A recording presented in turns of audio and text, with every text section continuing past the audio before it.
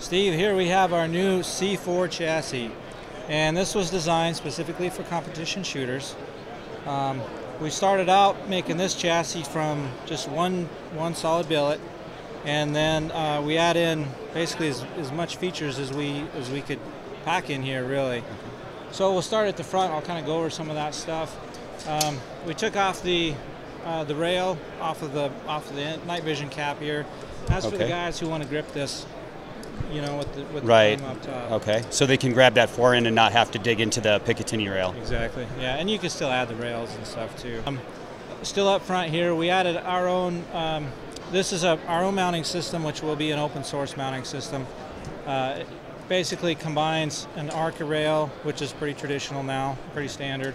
Uh, some uh, the slots of a Picatinny rail, the M-LOK slots, and then our own uh, mounting system that we have on the rest of the chassis, our, our threaded holes that we have on here. Okay, so we're looking at a prototype here. It's very flat on the bottom, so if you didn't have any kind of bipod on this, you could rest this on a bag. Almost, it's got a very wide fore end, so very easy to get stable on a, a front rest.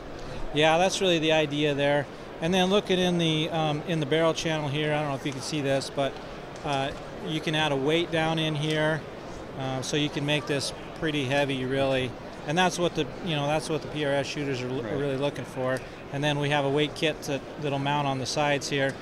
The side mounting system is really like a Picatinny rail, uh, but without the cross slots cut all the way through, so it's not tearing up your hand here.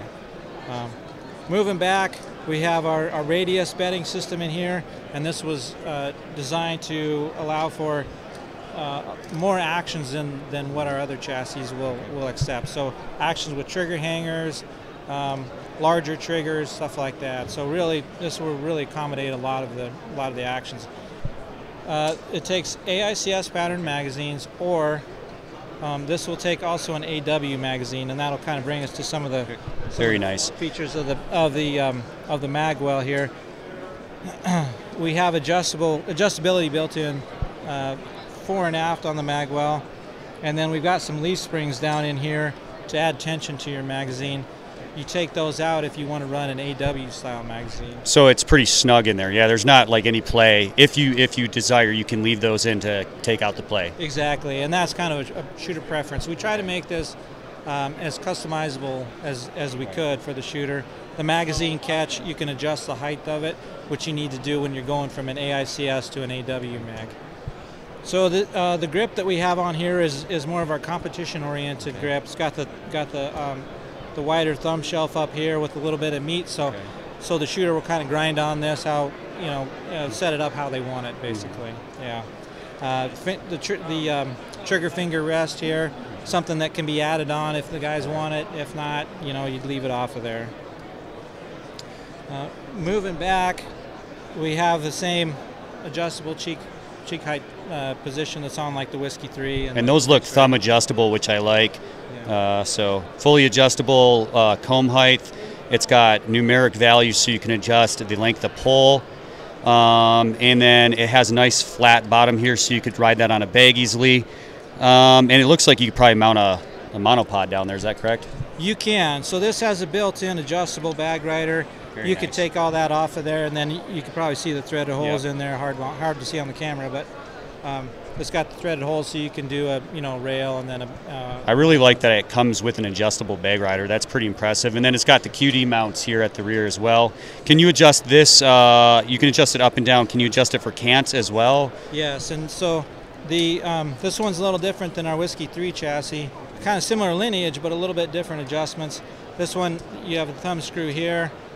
You loosen that, and then you can actually adjust both things at the same time. Very nice. So it's just one, uh, one thumb screw here. Kind of see it there in, in the camera, but just a one thumb screw, and you can adjust the cant and the height. And uh, this is made out of what aircraft grade aluminum, the chassis itself. It is, yeah, and then some some stainless components in here.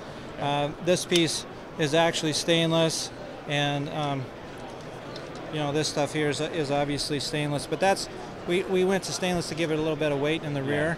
The idea being is that you know um, the competition shooters looking for, for the weight. And is this was is this like a hard anodized finish or? It is, yeah. Okay. Yep. So uh, that I mean that's a really sweet looking chassis. It looks like it has all the adjustability uh, and modifications that can be done for every level of shooter out there, all the way up to uh, you know a precision shooter who's uh, regularly doing competition. Thank you for meeting with me. It's my pleasure. All right, thank you and for watching, and I look forward to seeing you on the next uh, Shot Show 2022 video.